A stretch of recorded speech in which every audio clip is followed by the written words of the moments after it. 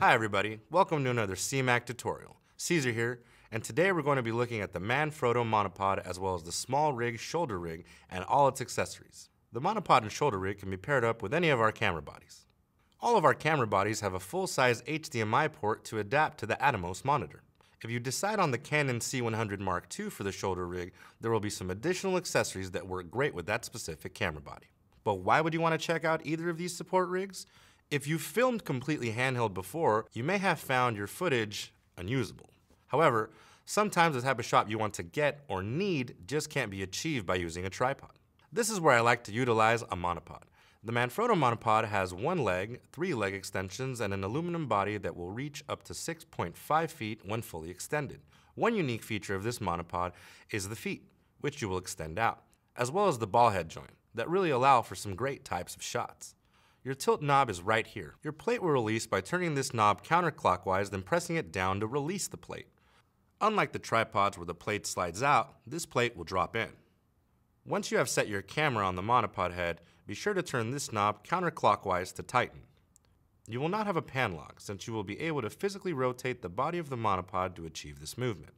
Monopods are a great solution to having some added camera stability. They are also a great option if the space you are filming has space limitations that will not allow you enough room to use a tripod or other equipment, or if you're filming on the go. I'll add a link in the description to some examples. The next setup I want to show you is the SmallRig shoulder rig and the Atomos Shinobi monitor combo. The Atomos Shinobi 5-inch monitor shoulder rig combo will be in a Portabrace case. It includes an Atomos Shinobi 5-inch monitor, two batteries, a battery charger, a clip-on hood, an AC wall adapter, and a standard HDMI cable. You will also have the shoulder rig itself with a few attachments for the monitor, as well as an attachment for the C100 camera. The SmallRig shoulder rig has two arms with two hand grips. To extend the arms, spin the rosette lever and swing the arms forward. Next, release the hand grips, spinning these levers. To extend the arms forward, simply spin this lever and move to the desired position. Note, your arms may be at different lengths and positions depending on your shooting style.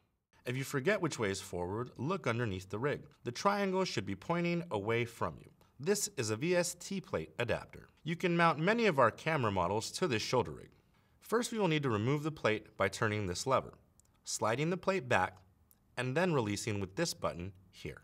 Next, let's mount our camera onto the plate. Remember, this arrow here on the plate should be facing forward. Now I'll slide my camera back onto the shoulder rig. Now I'm going to mount this two rod attachment to the front of the shoulder rig and tighten these two levers for tension. All the rods can be adjusted on this attachment for comfort. Next, I'm going to mount this NATO rail attachment by making sure my red lever is pointed away from the arrow, then slide it onto this other NATO rail by pressing these button stoppers to get the attachment by. When comfortable, press the red lever forward towards the arrow to lock in place.